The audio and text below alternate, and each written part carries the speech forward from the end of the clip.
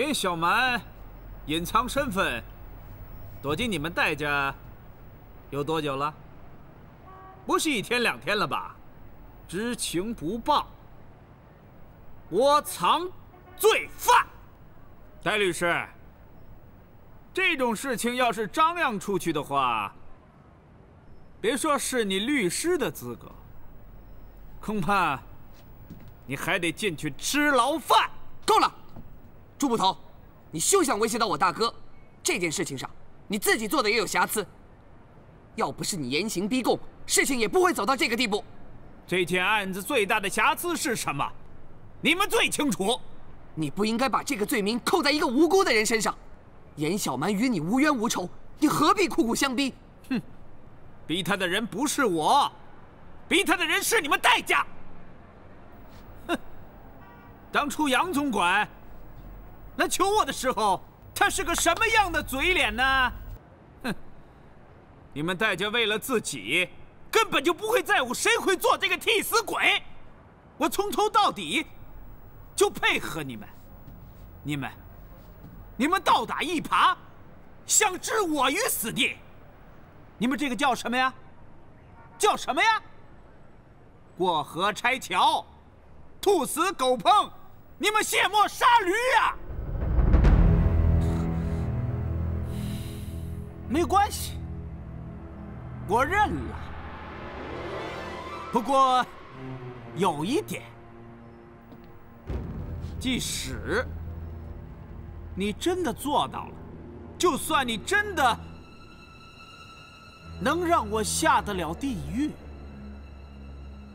我也得拖着你，拖着你们戴家一起下地狱。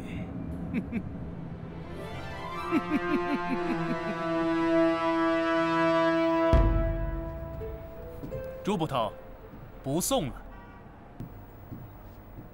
问天哥，我早就警告过你，朱捕头会反击的，现在怎么办啊？我知道，不过他说的话，你们也不要全信。大哥，你是不是以为朱捕头只是放了狠话，不会这么做吧？朱四能当上捕头，说明他对法律的问题很清楚。他如果要拖戴家下水，就得揭发我娘的事情。如果这么一来的话，他受贿两百块大洋的丑事就会被揭发出来。法律对于受贿这项罪名，恐怕要判个十几年吧。你以为他真想坐牢啊？那，你的意思是说，他不会拖戴家下水？其实，这就是他和我们戴家的一种恐怖平衡，谁都不会先去揭发，否则的话，只会两败俱伤。放心吧，戴家不会有事的。可是问天哥，你说的是戴家，那你自己呢？我能有什么事啊？问天哥，你不要以为你装作若无其事就能瞒过我，其实这一切你早就算计过。你知道朱捕头不会冒着坐牢的危险采取两败俱伤的反击手段，所以戴家不会有事的。可是你也知道，朱捕头必然会揭了你的伤疤，毁了你。这些你早就知道了，对不对？大哥，你为什么要这么做啊？我真不懂，原来我以为问天哥这么做，顶多会毁了他和小蛮之间的情谊。可是现在我才懂，原来你的大哥早就准备好坐牢，早就准备好丢掉律师资格。他这么做的原因只有一个，就是为了救小蛮。为了救小蛮，你大哥早就已经豁出去了。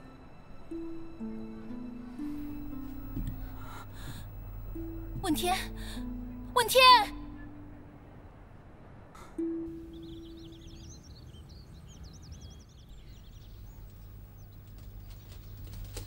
这上面说令师非常生气，要下令彻查。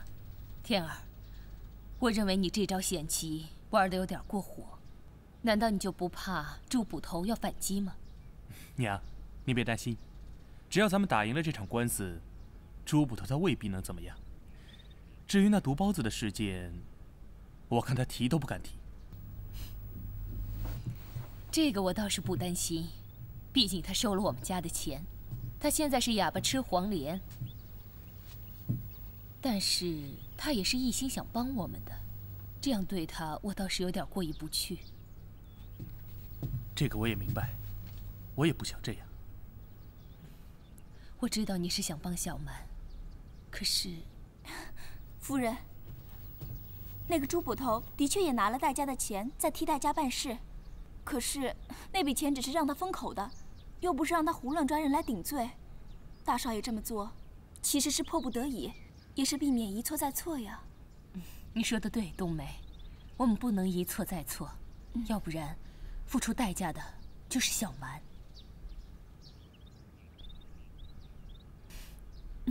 天儿，恭喜你打了漂亮的一仗，娘非常欣慰。如果你亲生爹娘在世的话。看到你一定会非常高兴的。忙了一天了，你该休息了。好。夫人，你等了一天，也该休息了。是啊，等了一天，心情也折腾了一整天。不过还好，没有白等，等到了一个好消息。走吧。嗯。娘，对不起。只怕天儿要让您失望了。快打，快打！小蛮，我问你，当初财妈遭到刑求之后，有没有就医？没有，我们家没钱，看不起医生。那也就是说，根本就没有什么验伤报告。没有。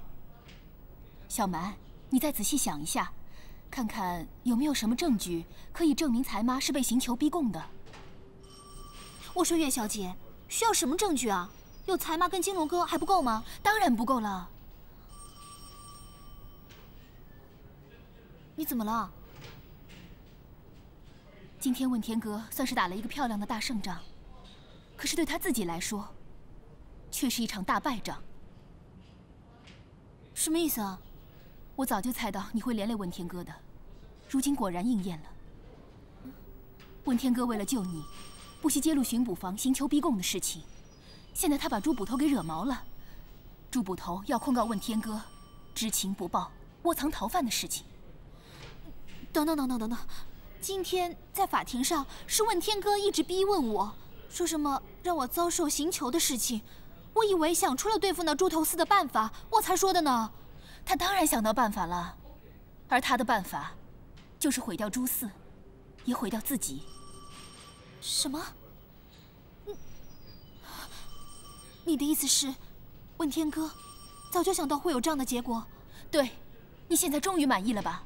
你终于把问天哥拖下水了？不是的，不是的，月小姐，我我要是早知道会有这样的结果，我才不会说呢。你当然不会知道。因为问天哥根本就没打算让你知道。其实你早就应该离开戴家，离开上海的，可是你偏偏就是不肯。你到底想证明什么呢？证明你是被冤枉的，证明你的弟弟妹妹是枉死的，还是你根本就是想证明问天哥是真心爱你的？小蛮，你太自私了。等到有一天问天哥被你害得丢掉律师资格，被你害得坐牢的时候。你就会知道，你们两个人之间的爱情，充其量就是一场悲剧。岳小姐，你怎么说我都可以，但我不是你说的这种人。能不能请你帮我通知问天哥，就说我想见他，我会想办法阻止他这样做的。如果他还是不肯，我就当众解除对他的委托，拒绝他继续为我辩护，这样可以吗？已经太迟了。为什么？看清楚标题，这张新闻快报是我刚才在路上拿到的。现在路上人手一张。官司打到现在，朱捕头已经不可能全身而退，而他势必不会放过问天哥的。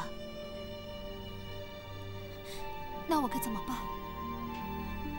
岳小姐，请你告诉我，我该怎么办？我怎么做才能救问天哥呢？怎么办？你还能怎么办？你只会越帮越忙，你只会害死问天哥。事到如今。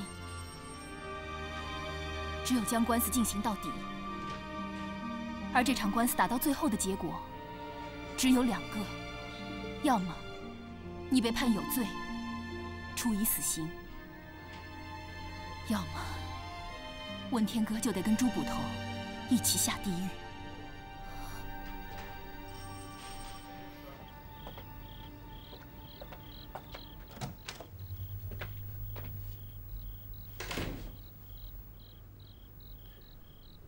杨叔，小芳，今晚动手，我会在他的茶里下药，等他睡熟，过了午夜，我不会锁门，你摸到他的房间，用这个，神不知，鬼不觉，事成之后，我会在后门等你。等你离开了租界，我给钱，你走人。我真不懂，杀死戴老爷对你有什么好处？你不懂的多着呢。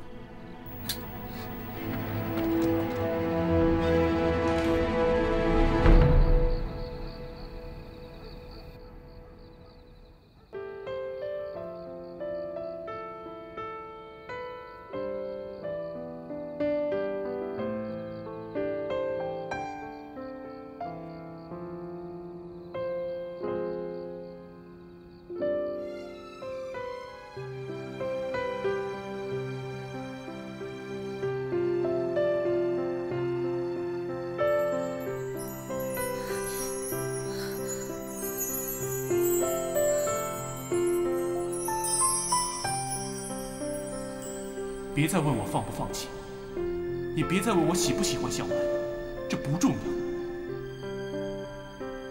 重要的是，在于你怎么做。如果你真的喜欢小曼，如果你真的想和她在一起的话，完全看你自己。我跟小曼早就不可能了，但是你和小曼这才开始。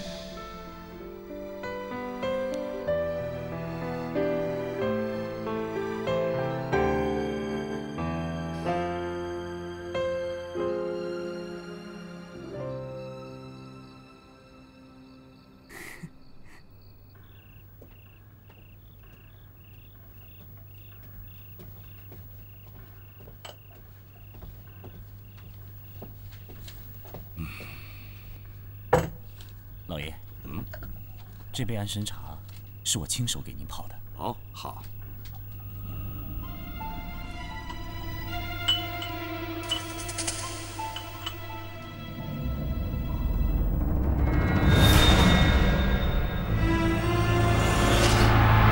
爹，娘，我喜欢严小蛮，我要娶她为妻。你说什么？我是不是听错了？你要娶严小蛮？爹，你没有听错，我喜欢她，我就要娶她。够了，你在胡扯什么？你说你喜欢严小蛮，我就觉得不可思议了。现在你还想娶她，你是疯了不成？娘，我就是喜欢她，我非娶她不可。胡扯，哪有非娶不可的？你是鬼迷心窍还是怎么了？我我不能对不起小蛮吗？涛儿，你什么意思？孩子，你是什么时候对不起严小蛮的？这种事情怎么说啊？这种事，就算再不好说，你也得把话跟爹娘说清楚。你快说呀，把我们都给急死了！你非说不可。这，男人对不起女人的事情还能有什么？我说不出口。啊？难难道是那种事？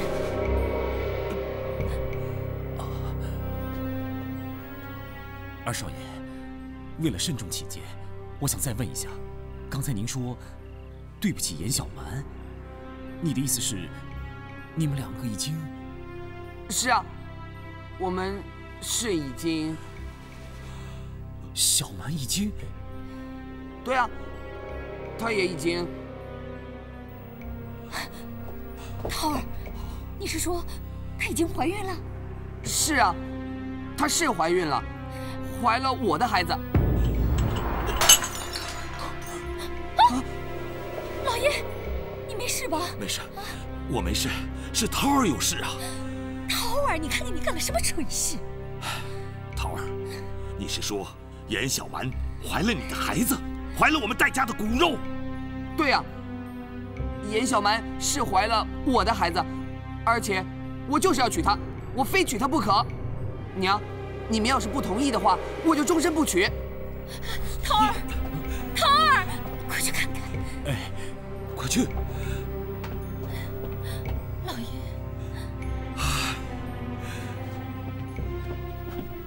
二少爷，这个结婚这种事，你可不能开玩笑啊！开玩笑？你觉得我像在开玩笑吗？可是，就算他很喜欢你，可他一直认为。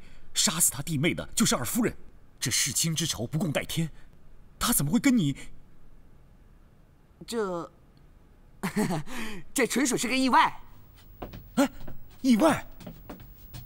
对呀，你想想，这男人碰上了女人，嗯，这不就是干柴烈火吗？那天我们俩又喝了点小酒，两个人喝多了，所以 这意外就发生了。哎，那他事后？没有怪你啊？怪我？他干嘛要怪我啊？他多么的喜欢我呀！那既然这样的话，他那天去自首，你怎么不早说啊？我当时没有想清楚嘛。再说了，我当时也不知道他是严小蛮呢。他去自首，我也不知道。反正，总而言之，就是一切的事情，我还没来得及反应，他就已经发生了。可是二少爷，我是怕你上了他的当啊！是他对你说她怀孕了，那你怎么知道他没有骗你呢？你说什么呢，杨总管？你把我当傻瓜呀？不是，这小蛮怀孕起码是一个月以上的事儿了啊？是吗？啊，我们该查证的查证，该比对的比对，反正一样都没有少。说到这件事情上，杨总管，我还有些地方对不起你呢。这这怎么说？就是当时救财妈的时候嘛，我心急呀，我把她当做我未来的丈母娘，所以对你有不敬之处，你别放在心上啊。二少爷，你真是性情中人。这件事情啊，我早就不记得了，你也别太在意啊。啊，没事没事没事没事。呃，我就去安排珠儿给您放热水。好好好好好。哎呦！嘿，杨总管，老爷，二夫人，怎么样？二少爷他怎么说？哦，我问过二少爷了，二少爷说，小蛮姑娘至少怀孕一个月以上了，而且该查证的事，二少爷一样都没少，都比对过了。是吗？那丫头真的怀了戴家的种了？恐怕。是如此了，这孩子居然闯出这种祸来！他儿也真是的，哪个女孩不好，偏要去招惹那个丫头。当初他说喜欢她的时候，我还以为他是一时好玩，没想到他居然当真了。喜欢人家也就罢了，居然还让人家怀孕，这孩子真不知道该是骂他好呢，还是夸他好。老爷，您这句话什么意思？怀了我们戴家的孩子，这可是件大事啊！可是孩子的妈是严小蛮啊！唉所以才叫我头疼啊！如果是换了别的女人，只要不是什么伤风败俗的人，我们可以睁一只眼闭一只眼，把她娶进门就算了。可偏偏是严小蛮，这小蛮可是把我们戴家当成仇人呐！杨总管，你看这事情怎么办？我看，二少爷行事虽然鲁莽了些，可是木已成舟了，我们只能认了。认了？啊，这这不认不行啊！戴家不能无后啊！再说二少爷脾气那么倔，日后他要是来个终身不娶，那戴家岂不是断了香火了？嗯，我也是这么认为的。老爷，您的意思是，这肚子里面的孩子是要定了？要定了。这下可好，还非得把那丫头给救出来不可了。哎呀，真是一场灾难。那婚事呢？难不成你非要把那丫头给娶进门？嗯这我还拿不定主意啊。杨总管，你说呢？呃我觉得救严小蛮跟保住她肚子里的孩子，然后再娶进门，这是两码事吧？你是说，只要孩子，不要媳妇儿？呃，老爷夫人，要是你们不喜欢这个媳妇，我看可以跟二少爷再商量商量。嗯，行，就这么办。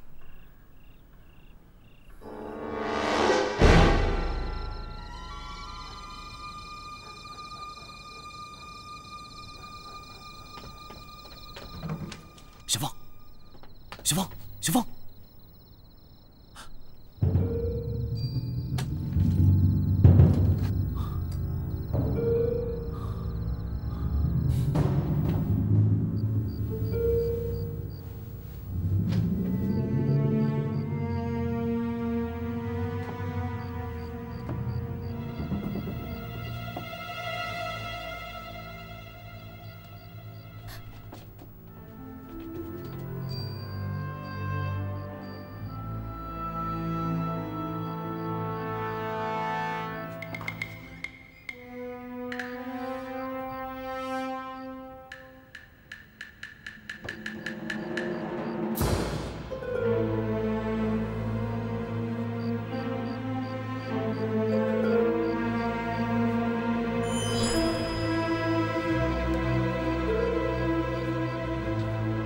小芳，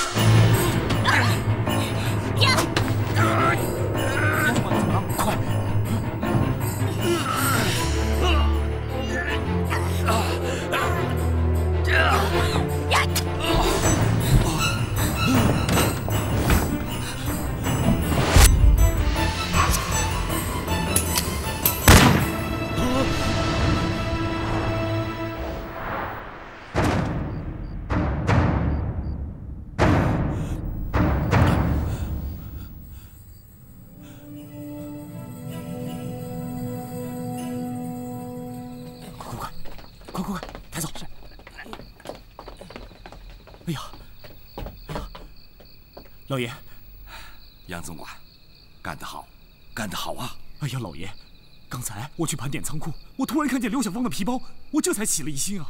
嗯，哎呀，这否则的话，不过老爷，您可真是福大命大呀！哎这丫头怎么溜进咱们家的？是，关键的问题就是，咱们家戒备森严。刘秘书是怎么会潜进我们家的呢？呃，不管刘小芳是怎么潜入咱们戴家的，啊这都是我的不是。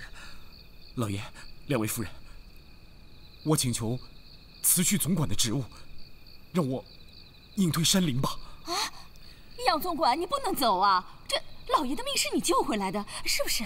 我是啊，小梅她说的对，这个家要是少了你，那哪成啊？不错，刘秘书前进咱们家，企图行刺老爷，是杨总管及时制止，才没有酿成大祸，这是大功一件。如果杨总管现在离开的话，我们日后怎么能够服众呢？杨总管，你一向对戴家忠心耿耿，现在除去我们家的心头大患，我们感激你还来不及呢，怎么舍得你走呢？是啊，老爷，两位夫人，你们的话，我记着，我记着。那我就，我就恭敬不如从命了。那我，好，好，就这样啊。不过事情到现在，唯一的遗憾就是我们没能从刘秘书的口中问出幕后的主使是谁。爹，天儿还得提醒您，如果今后您要外出的话，一定要倍加小心。嗯，我知道。问题是，究竟是什么人？他为什么非要置我于死地呢？实在是。老爷。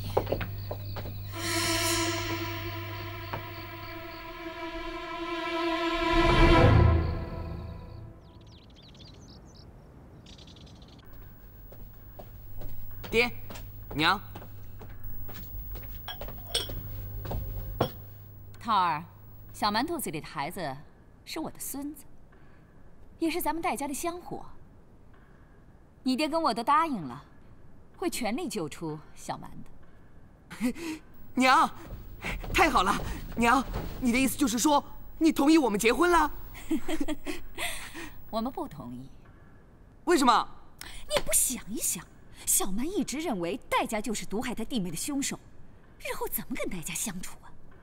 娘，这个你就别担心了，我呀以后会跟他慢慢解释，让他释怀的。你怎么解释啊？难道你要告诉他你大娘是凶手？哼，这件事情当然不能告诉他了，但是我会用诚意打动他的。她现在怀了我的孩子，以后嫁入我们戴家，成了咱们戴家的媳妇儿。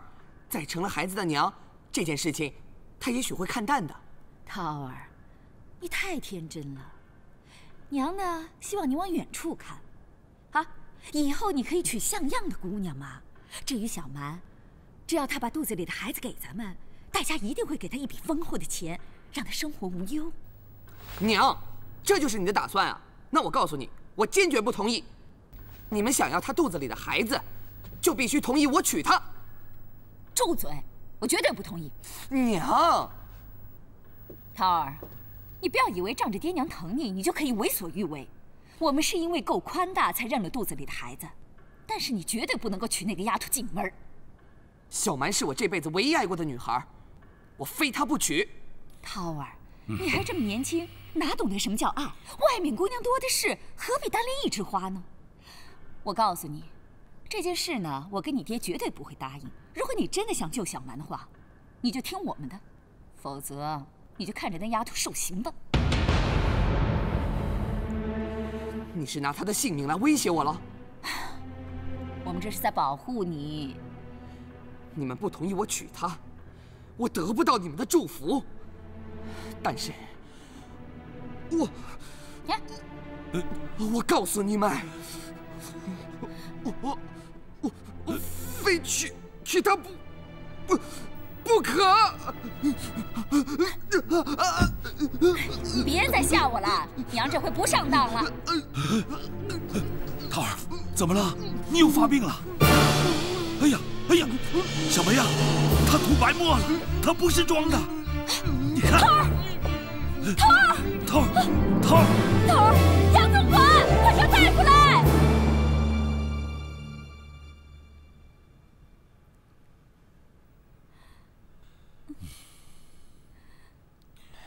少爷发病的频率越来越高了，不是好事。目前的医疗技术对于癫痫症全然束手无策。身为他的父母亲，你们比起别的父母只会格外辛苦，还得随时准备面对他的死亡。请。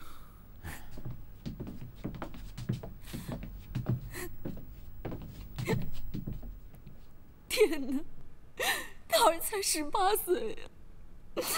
老天爷为什么要让他得这种病？为什么？娘，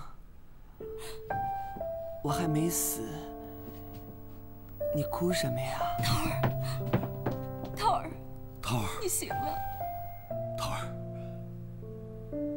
你还好吗？没事了，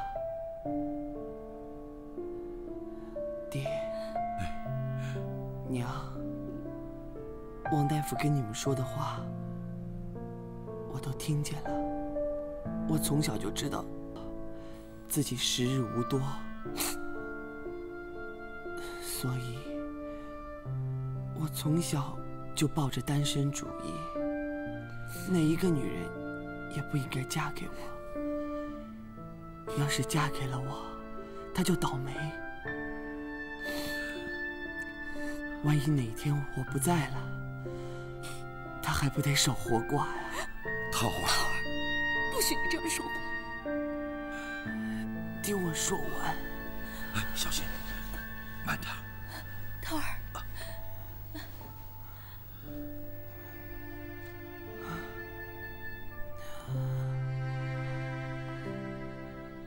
我，我的确不敢有结婚的念头，因为怕耽误。可是，可是直到我遇到了小蛮，她是那么的善良，让我产生了结婚的念头。娘。小蛮要是真的愿意嫁给我，当我的妻子，为我生孩子，算就算哪一天我我不在了，也也还能为你们留下个孙子。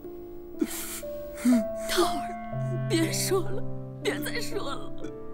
桃儿，爹答应你。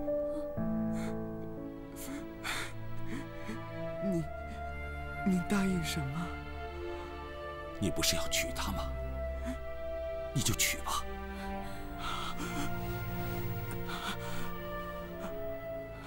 真的吗？老爷，您真的答应了？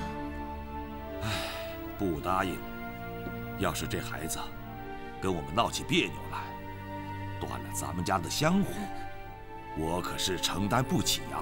可是，好了好了，别可是了，就当做养儿子是来讨债的，咱们前辈子欠他的债。桃儿，爹再说一次，听清楚，爹答应你了。爹，这可是你说的，不是我逼你的。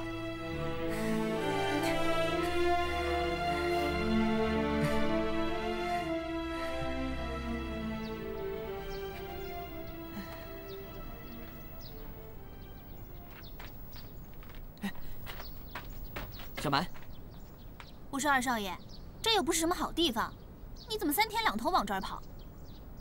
我觉得不会啊，风景如画的，要不是出入不方便，还挺适合约会的。你信不信再贫我掉头走人啊？好了好了，别生气了嘛。哎，我这一次过来找你，是有正经的事要告诉你。我已经有救你的办法了。嗯？对啊，不止可以救你，而且还可以救我大哥。真的？真的，但是你必须要配合我一下。你说，下回在法庭上的时候，你继续翻供，说那口供都不是真的，但是你必须答应我一件事情，不能说出猪捕头行囚的事情。为什么？哎呦，你就别问那么多了，这种事情交给我来办就行。可是岳小姐上次跟我说了，她说这样做已经来不及了，因为我已经把猪头四给惹毛了。她不仅不会放过我，而且不会放过你大哥，所以我不明白，为什么你说能救我呢？反正，反正你不要问那么多了，我们跟朱捕头之间是有些交换条件的。什么交换条件啊？你不再指控他行求，来换取他推翻你的口供。二少爷，难道你要去找猪头四？我哪有那个分量？猪头四那边我娘会打点好的，你听话点就行了。你娘都快恨死我了，她干嘛要帮我？哎，你就别管那么多了，反正你就按照我说的去做，这样才能救你一条命。哇，二少爷，我觉得你一定有所隐瞒，到底有什么事情？快说！不说是吧？好，那麻烦你回去告诉你娘，她的好意我心领了，我严小蛮的生死与她无关。哼！哎，好，好，好，好，好，我说，我说，我说。其实，不止我娘想救你，我爹他也想救你。嗯。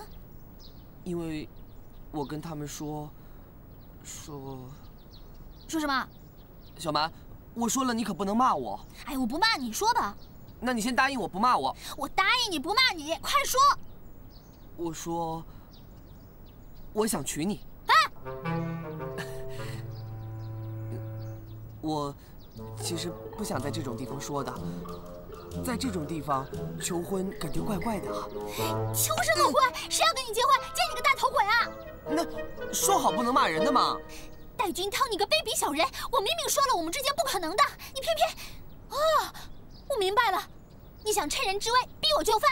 哎，你又误会了，小姐，我是为了救你，好不好啊？我娘跟法官熟，跟朱捕头熟，跟领事大人也熟。我要不说娶你当媳妇儿，他怎么会救你呢？得得得得得得，那就更奇怪了。你说你娘想救我，我本身已经半信半疑了。你现在又说你娘想认我当媳妇，那我就更觉得不可思议了。你娘跟我，我当她是眼中钉，她当我是仇人。我现在这么惨，她不落井下石，我已经谢天谢地了。你还说她想救我？你们之间肯定有什么阴谋，快告诉我！好，好，好，我说，我说，我说。小蛮，其实你说的没有错，我娘她是不可能认你当媳妇的。可是，可是什么？可是只有一种情况是例外的。什么情况？我，我其实就是耍了一点小的诡计，撒了一个无伤大雅的小谎，就说有人怀孕了。谁怀孕了？你，我，你你你你你，你说我怀孕了？对啊，你还怀了我的孩子。是，什么跟什么，什么跟什么嘛？你？对对对，我爹娘知道这件事情的时候，跟你反应是一样，都吓坏了。大金涛，你，哎哎，小蛮，你听我说呀，我不这么做的话，我娘怎么会救你呢？放开，大金涛，谁让你们救我了？我才不稀罕呢！你这个混蛋，竟然坏我名节！哎呦，小蛮，你先听我说呀！你别忘了，我不止为了救你，还为了救我大哥。如果我娘不出面的话，别说你们这场官司打不赢了，连我大哥也岌岌可危。只可惜我跟你大哥都是靠自己的本事，谁稀罕你们的关系啊？这个我知道，但是你们也应该清楚，这场官司你们根本就赢不了了。我不想眼睁睁地看着你走上绞刑台，也不想看着我大哥丢掉律师资格，甚至坐牢。那你也不应该撒这样的谎来败坏我的名节呀！我做这些都是为了你好，不管你怎么骂我都行，只要不打我。是吗？对。哼！哎呀！大金汤，我打得你四脚朝天，五体投地！我打你个乌龟王八蛋！哎！哎呀！哎呀！不要跑！别打了！站住！哎，站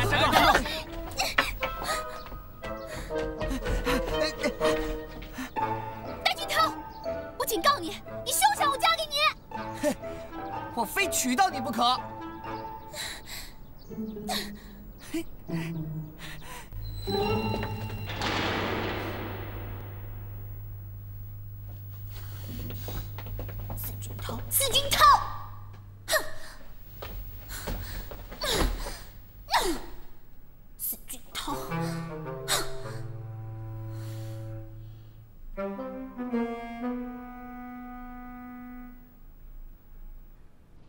朱大人，您辛苦了。二夫人，我这两天的心情，又岂能是“辛苦”两字就可以形容的呀？哼，刘小芳终于自食恶果。说起来，朱大人是功不可没，可怎么还愁眉苦脸的？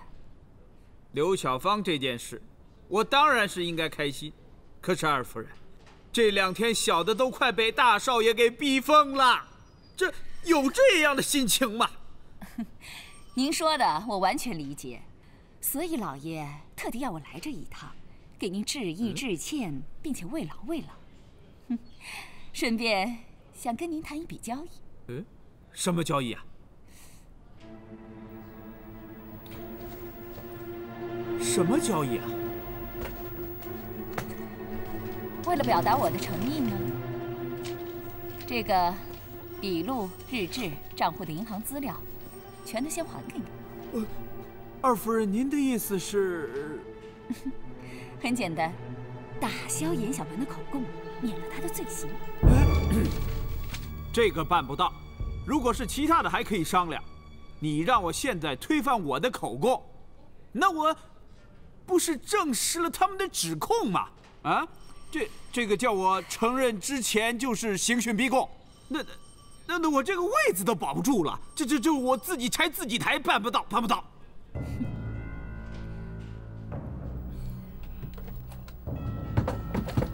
呃，二夫人，您您这什么意思啊？